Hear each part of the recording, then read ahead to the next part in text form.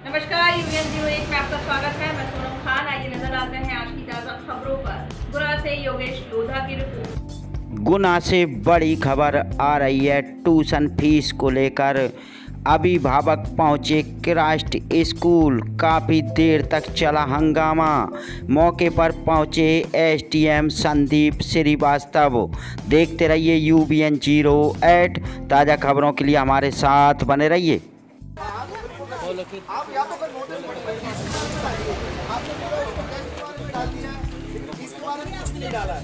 इसके बारे में वो पर्सनली फ़ोन लगा रहे हैं। बस साल इस साल सिर्फ़ जो स्कूल की रिक्वायरमेंट है वो है आपकी ट्यूशन फ़ी पूरी फ़ी नहीं मांग रहे हैं।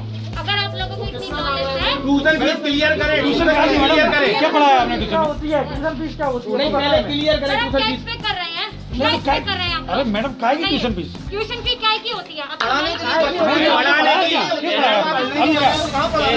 के मैडम बात सुनिए मैडम बच्चों। चार दिन में बना के भेज देता हूँ मैडम एक मोबाइल है मैं बच्चों को दूँगा कि मैं रखूँगा। बच्चों को दूँगा। तो मेरे काम रुक जाएँगे मैडम मैं बिज़नेस मैन हूँ। मैं नहीं पढ़ा पाता हूँ बच्चों को।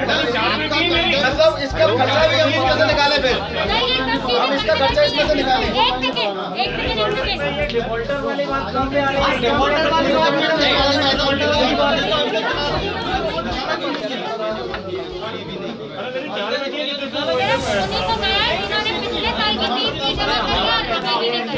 कहना है। पिछले साल जिनने फ़ीस जमा नहीं करी उनके पास फ़ोन गया एक मिनट एक मिनट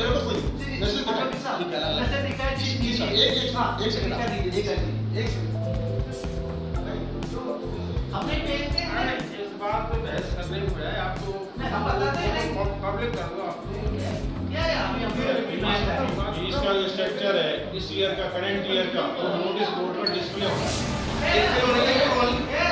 तो फिर कोई अंदर आप लोग स्कूल में आज जो सब लोग इकट्ठे हुए हैं फ़ीस को लेकर जो आपकी चल क्या मामला है? सर कल एक मैसेज आता है मोबाइल पर कि जो भी आपको गाइडलाइन दी गई है ऑनलाइन एग्जामिनेशन के लिए उसलिए आप वेबसाइट को देखिए। ठीक है? वेबसाइट को जब देखते हैं या कॉल आता है हम लोगों के पास यहाँ के स्टाफ से तो वो कहते हैं कि सितंबर के तीसरे वीक में ऑनलाइन एग्ज़ाम होंगे।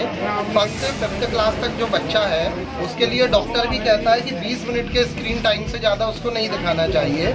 ऐसे छोटे बच्चों को आप स्क्रीन पे कैसे फ़ीस को लेकर क्या मुद्दा है? मैं ये फ़ीस को लेकर ये मुद्दा है दो तीन अलग अलग बातें हैं। स्टाफ के द्वारा ये कहा गया है कि फ़ीस सिर्फ़ उन लोगों से मांगी गई है जिन्होंने पिछली बार की फ़ीस नहीं दी है, पिछले साल की। जबकि यहाँ जितने पेरेंट्स हैं, उन्होंने पिछले साल की फ़ीस पे करी है, इस साल की नहीं करी है। इस साल के लिए हमारा ये मुद्दा है कि जब ऑनलाइन क्लासेस चल रही हैं और बच्चे यहाँ आ नहीं रहे हैं, आपके भी खर्चे कम हैं तो उस वजह से उस खर्चे को भी कट किया जाना चाहिए। अभी इन्होंने हमको एक अलग लेटर दिया है और पत्रकारों को एक अलग लेटर दिया है कि फ़ीस दोनों में डिफरेंट है। जो पेरेंट्स को वेबसाइट से मिली है, वो अलग है, जो पत्रकारों को दी गई है, वो अलग अलग है। इस प्रकार से।